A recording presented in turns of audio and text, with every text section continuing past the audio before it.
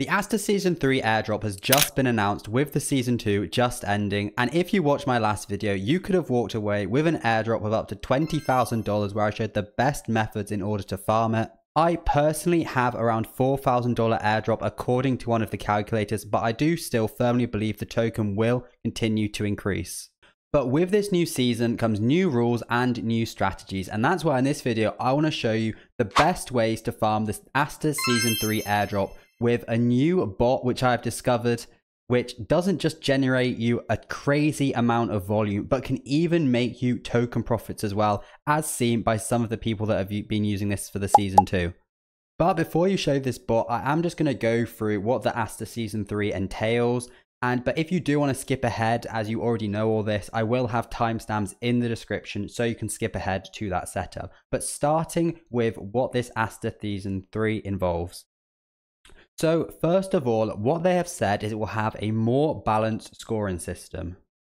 So what they have said is previously on Aster, what would happen is trading perpetuals was very heavily rewarded and this was the main focus. People would drum up a ton of volume. But what they have said for this new season is it will be more balanced and multi-dimensional. So instead of just this, you will earn points with some kind of formula which is undisclosed based on your activity, your trading volume, holder duration, what Aster assets you hold, like the ASBNB and USDF, and your PNL and your team conditions. And basically, what is included in this, what we can ascertain is you now earn points for spot trading. So before, where it was just perpetuals, with just your spot holding as well, which obviously I'm sure a lot of you have been doing. You can buy your Aster and hold it on here instead of transferring it out. You will earn some points too. And the other new feature is this symbol specific boost multiplier where basically if you hold spot or perpetuals of certain tokens, you will get a points boost. So right now, and this is just at the current time of recording, they have just announced for the start with their Aster Dawn Stage 3, they have some assets with this 1.2x symbol boost.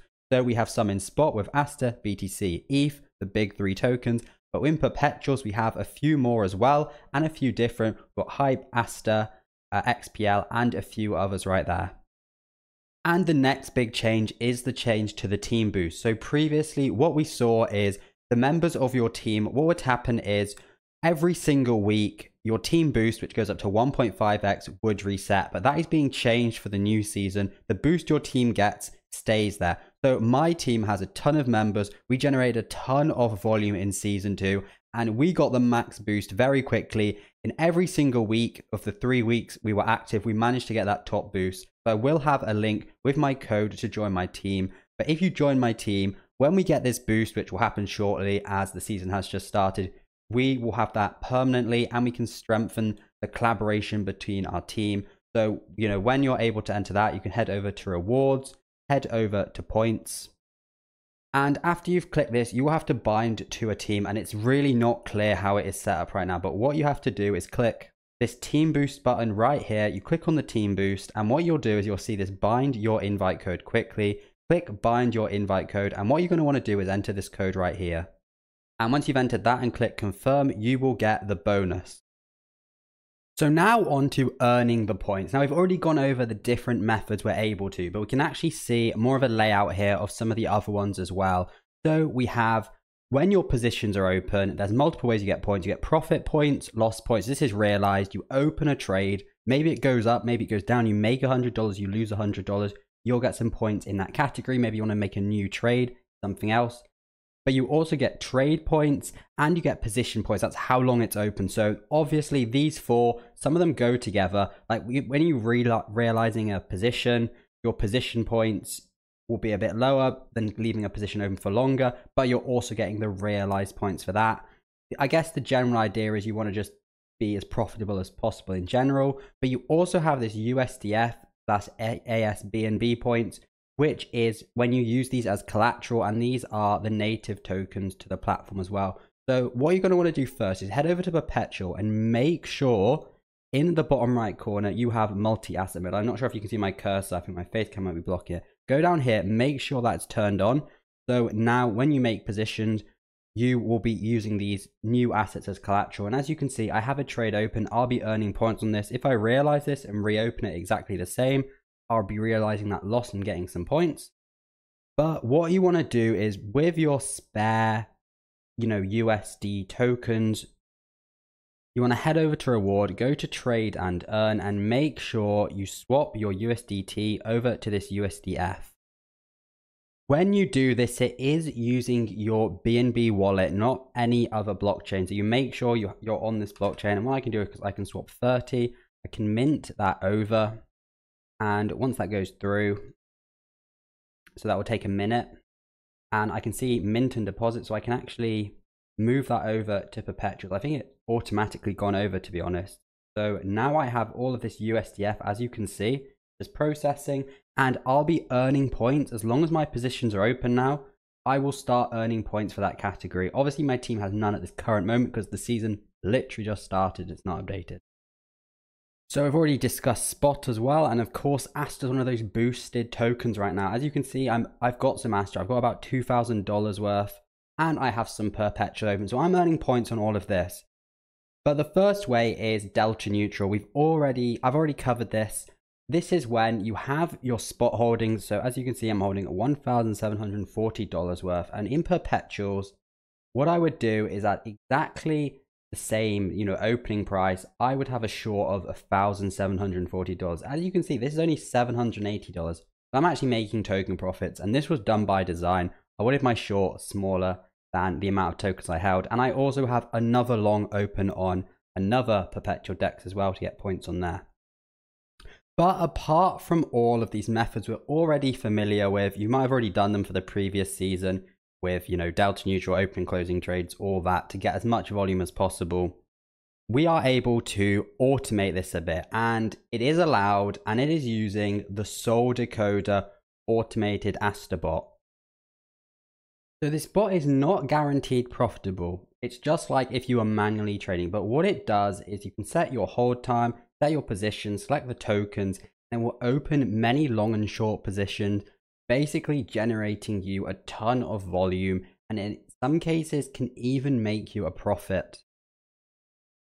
And if we go on Twitter, we can even see posts by people like Fabiano, who has made a loss of around $500. So this is on maybe fees or his P&L and he's generated over 9 million points of this which at the current values would be worth a lot more than any amount he was farming.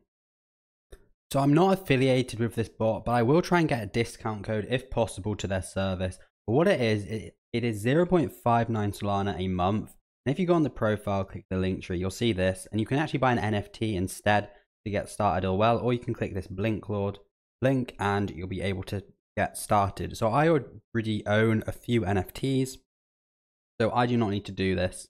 So I can actually get started with the setup.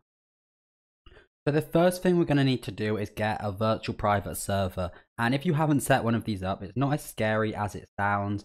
All it is is basically a method we can have our bot running 24 7 and it's really secure. So it's basically a separate instance of a computer running completely separate from our own. So if anything bad happens, it's completely isolated and safe.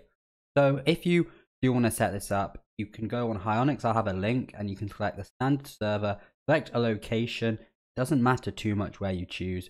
But what is important is you choose the Windows 2019 license server and you can either choose one of these two I am just going to go with the HS1 and it will work fine, but you can get this and it is $12 a month, which is a bit more expensive, but it does have a bit more memory in case you're wanting to run some of the other bots which they offer.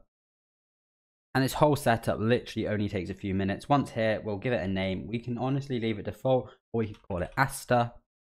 And this is $6.50. And once we check out, we can pay with crypto if you do want to as well. So it's really, really quick and smooth. So that order has gone through. Now I can go back to my profile and see the server. Now it does take a minute to deploy if while it loads up. So it will take a few minutes, but once it's done, pretty much we'll get a login. And with this login, we can log into the server and then download the farmer.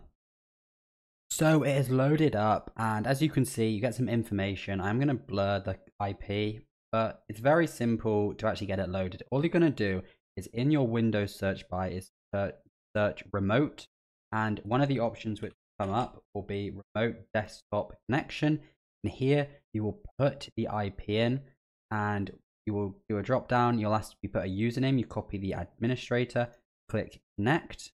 Then you'll be asked for a password. You simply copy the password, paste this password in, connect, and you will be online. So that has gone to get ahead and downloaded. And again, the link is in the Discord and it's very easy. Just paste it in your browser in the bot and in Google Chrome and it downloads for you. And I've ran it and downloaded it. Now the next step is you do need to import your wallet and get an A your API key from Aster or the other perpetual trading bots, which they'll release soon.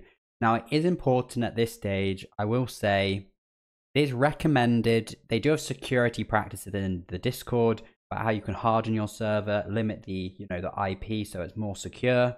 I'm not going to be doing that right now or going over it, but I do definitely recommend checking all these features out. And you will have to import a wallet. And again, you will have to import a private key. And they do have a method you can do it in the browser without having to import a private key.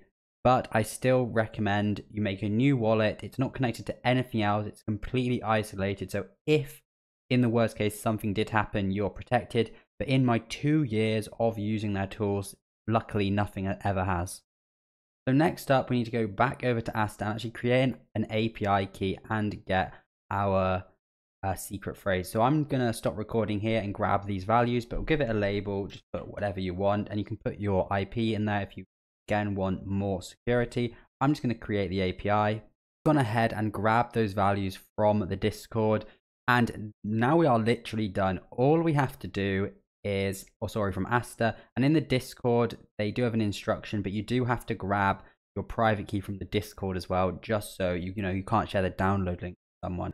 So we have the option of the delta neutral, or if I turn that off, we have the directional, which is where you enter your amount still and what it does is it basically does a lot of positions for you. And this is where some people have profited really well. But what i'm going to do is put the delta neutral on.